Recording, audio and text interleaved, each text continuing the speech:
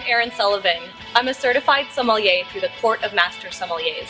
I'm also the general manager of Acme Fine Wines in St. Helena in the heart of the Napa Valley, and I'm a proud member of the Wine Sisterhood. You'll be seeing more of me on upcoming episodes of Wine Chat TV. The Wine Sisterhood thought that you may want to learn more about the world of wine from a sister's point of view.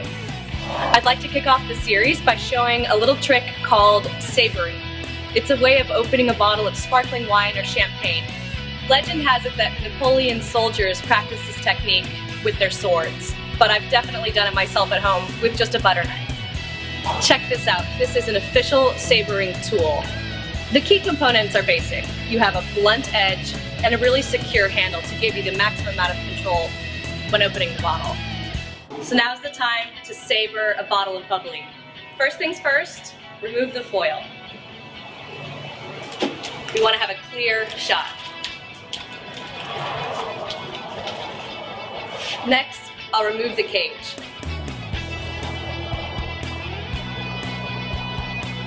And now, take a couple of practice swipes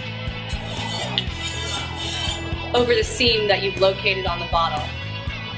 And then, with authority, voila!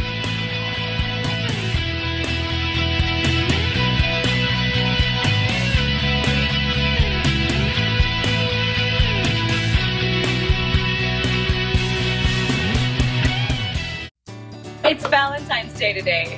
Are you feeling racy or romantic? Wine Sisterhood has two great options for us.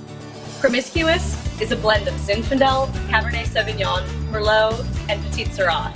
Monogamy is a beautiful North Coast California Cabernet Sauvignon. Visit racyoromantic.com for Valentine's tips, tricks, and recipes. Thanks for playing with wine and me today.